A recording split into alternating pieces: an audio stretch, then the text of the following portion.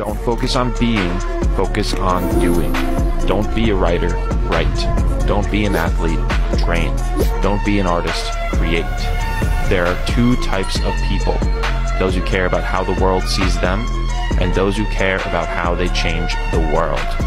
One wins awards, and the other wins.